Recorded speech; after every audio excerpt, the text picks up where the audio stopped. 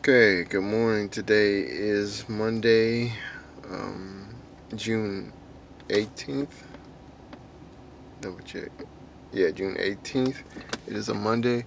I am outside of the Dallas Makerspace. Uh, let's see if I can zoom in on it. Hmm, it's not a good view, but I'm outside of the Dallas Makerspace. Um, this is the second day of me getting up I got up at 2.30 this morning, um, got in a good workout. um, I've been here for about 20 minutes, so I'm just sitting in the car just thinking about some things. Um, just thinking about success and how I, would, I would define it and, you know, why, you know, I often fall short of it.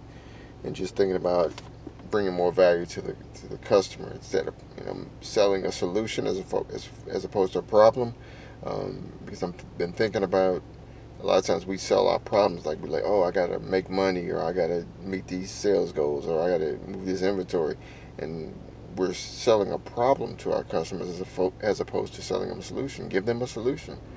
You know, don't worry about your what your need. Like think first and foremost what the customer needs. Like someone comes to a car lot and says I need a minivan, and you try to sell them a sports car. It's like because you know sports cars, you know, it's going to help your numbers. It's like no, you give the customer what they need. You solve the customer's problem first and foremost. And so I'm trying to think about that. Uh, yesterday I went to Lowe's, and I, I, mentioned before I don't like to call out companies, but I went to Lowe's a, a while ago, and they, they, you know, I tried to pitch them a bad idea, and they didn't like it. You know, they didn't like it, but I, I didn't. You know, the attitude they they they, their general manager at the time was kind of negative. So I talked, met another manager just yesterday. It's been probably maybe almost two years since I've been to Lowe's. It's same Lowe's, different manager, same store. But they were like, no, our policy says we can't accept new ideas. I said, well, I'll go, I'll go to Home Depot. I've been to three Home Depots. All three of the managers accepted the idea, thought it was good. Well, now, the one that Lowe's thought it was a good idea, but they said their company policy doesn't allow them to um, accept any outside ideas. And I'm like, okay, that's interesting. Just interesting. You know, you know, just I'm not gonna say any more about it. Just it was interesting. But what I'm gonna do from now on is that whenever I pitch an idea, I'm like, instead of worrying about what they're gonna say, just always have a next plan. Next, like when I went to Lowe's, like I knew I was going to Home Depot. Like, so today I'm gonna go pitch some ideas. I'm like, you know, if they say no, I'm already gonna have in mind what I'm gonna do next.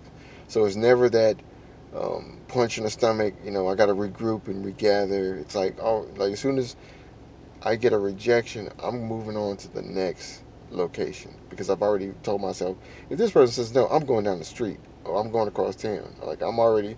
So before I pitch any ideas, like I'm already know where I'm going next. If you say no, I already know where I'm going next. Now, if if I get two no's and it's time that okay maybe I need to step back and think about okay let's evaluate these two no's and find out if this product is really what I think it is but don't don't stop and and feel the first no the first no is is just almost a knee-jerk reaction you got to be able to if you get hit you got to be able to counterpunch so you know you're going to get that hit so be ready to counterpunch so that's what um, that's what I what I'm focusing on today so I'm going to go to um, today is big SMU day. I've got the, um, and I'll show these um, in a few hours when I go up there.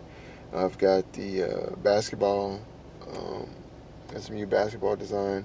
I've got the, I'm gonna do a, try to do a football one. So go there, go see um, um, Dr. Kepler. Um, I want to put an uh, idea for her to put stickers on maybe like a bottle of detergent. Welcome to SMU.